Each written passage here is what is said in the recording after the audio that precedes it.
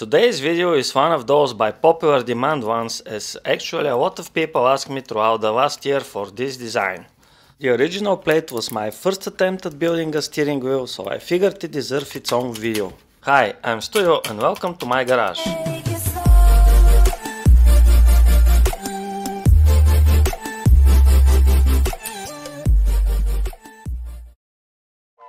At the end, this button plate turned out to be quite universal actually, as you can see it fits multiple rim types.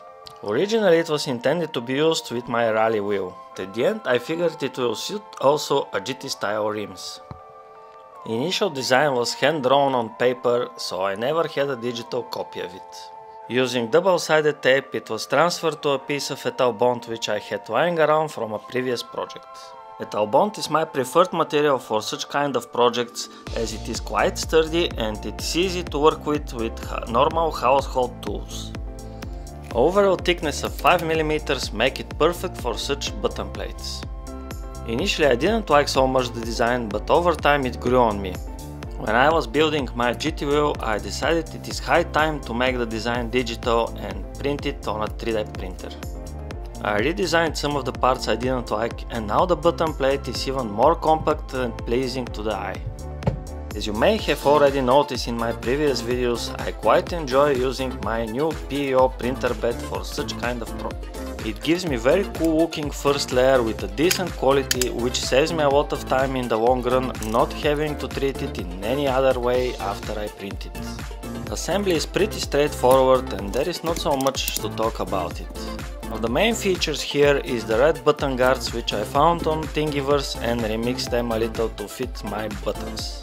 I'm using pretty standard components found on AliExpress which is 12mm push buttons and these small tactile buttons which are quite common for such builds. Plate was designed to work with an SRM emulator hub for Fanatec wheelbase, so it features 9 buttons, the exact amount the emulator hub supports. The SRM emulator also allows you to connect a funky switch and two paddle shifters. All of that of course goes for the button plate. Plate is designed to be printed in 5mm thickness which is right about the limit of the 12mm domed push buttons. These buttons come with a lot of color options so you can play around mixing them on your plate. Next off is installing the funky switch. The front shroud you have just to press into place as it is a quite a tight fit. Over time I received two types of funky switches, but uh, lately the only model that I could find on AliExpress is this one, with a shorter and thicker shaft. Plate has built-in holder for the funky switch on the back. Here I am using the funky knob that I designed earlier for my Bentley steering wheel build. The button plate also has multiple mounting options for paddle shifters and it has 10mm offset between the two rows of mounting holes. All soldering was done off camera and is quite dependent on the controller you will be using. In the design you will find a small plate which keeps both the cables protected and the funky switch in place. Here you also need brass M3 heat press inserts. The cover simply needs to be screwed in and with this we complete the assembly of the button plate.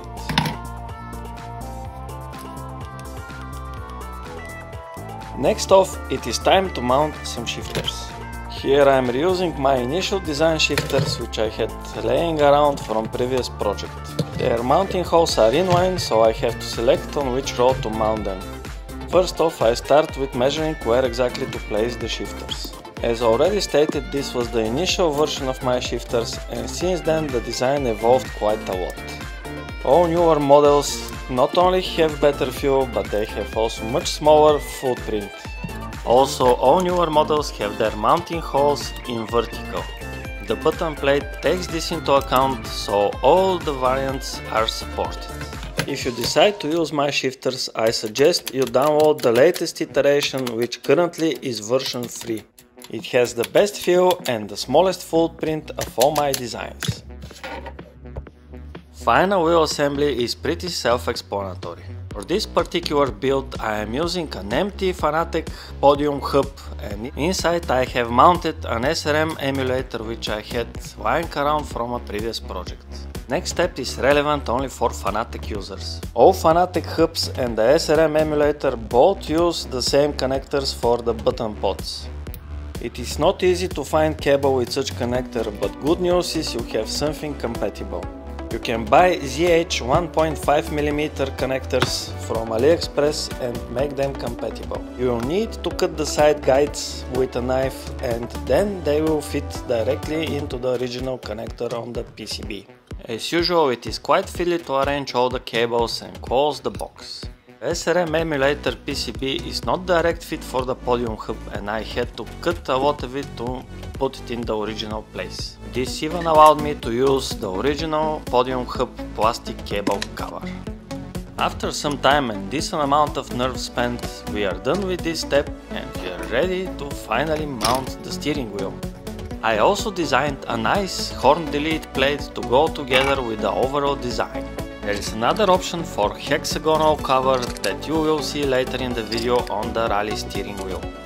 In the download files you will find both these plates in multiple variants with my logo or without it. For this wheel I used the original CSL Fanatec magnetic paddle shifters, paired with my own carbon skin 3D printed DIY paddles. Only thing left is to tuck in the cables and hide them from sight in the podium hub. With this, my D-shaped wheel is ready for action. I considered building a box to hide all the buttons and cables, but as I never see them, I didn't bother ever doing it. Overall, I'm pretty happy how this wheel turned out and with these 9 buttons, funky switch and 2 shifters, it provides me with more than enough functionality in most of the games that I will be using it. This is my main steering wheel that I use with the original backplate. It sports the hexagonal horn delete plate together with my windscreen wiper button designed after the paddles that you can find in the actual Hyundai Rally 1 car. Now let's move on to my new AliExpress D-shaped wheel. Personally I am not so much into GT cars, but this is a great wheel for occasional fun in Forza Horizon 5 or Grid Legends. Next is an open top GT wheel with quite popular shape. I bought it for another future project but made a quick assembly here to show you how it works with the button plate and such kind of wheel. Overall it's a quick build with nice looks and enough functionality for most of the games. Personally I don't use much buttons on steering wheel but most probably we'll be extending this design to feature things as rotary encoders and some displays. Currently I am working on a DIY Fanatec steering wheel emulator which allows me to use 7 segment display together with LEDs and 24 buttons. Also it supports rotaries and multi-position switches. And now as always let's enjoy some driving in the WRC Generations and Grid Legends. 20 left 5. Left 4, keep in. Into right 4, long, keep in. And flat left, and caution left 3, bumpy. Right 2, don't cut, keep in,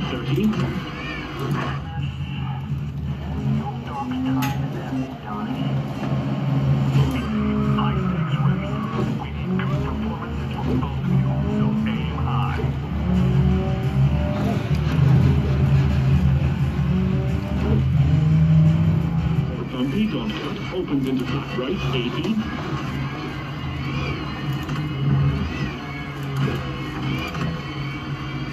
Left 5, keep in, 30. Right 5, 50.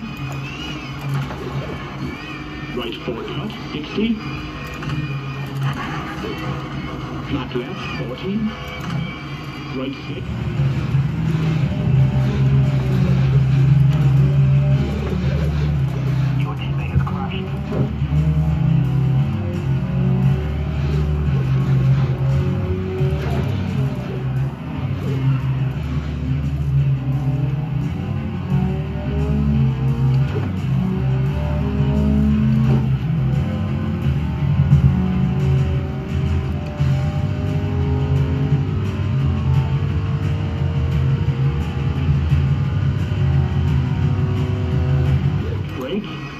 Three narrows into select six long, titans over bridge 13.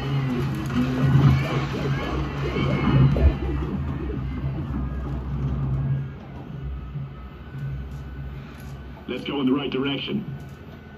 The track is over there.